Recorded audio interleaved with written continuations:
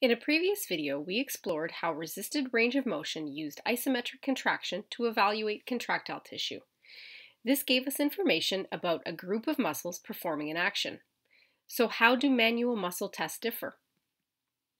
Manual muscle tests are used to evaluate the strength and function of individual muscles as opposed to the group of muscles.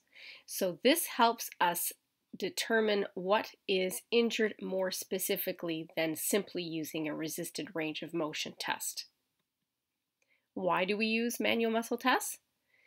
They are commonly used in massage therapy practice to assess muscle strength, muscle endurance, and the potential injury to muscle, its tendon, or its point of attachment.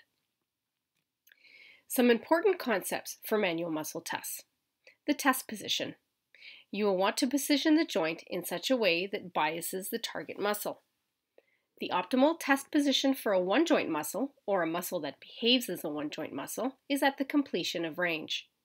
The optimal test position for a multiple joint muscle is at the mid range of muscle length.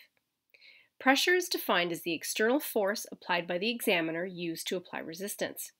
Resistance is the external force that opposes the test movement. How do we perform a manual muscle test? First, you will explain to the patient what you will be doing. Then you will place the patient in a position that provides whole body stability. Next, you will position the joint in test position. Then you will stabilize the proximal part of the joint. At this point, you will observe if the patient can maintain this position against gravity, meaning there is no extra pressure being applied. Then you will apply slow, steadily increasing pressure directly opposite the line of pull of the muscle.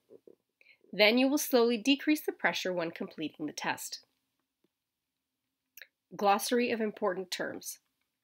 Agonist, synergist, substitution or compensation, antagonist, concentric contraction, eccentric contraction, isometric contraction.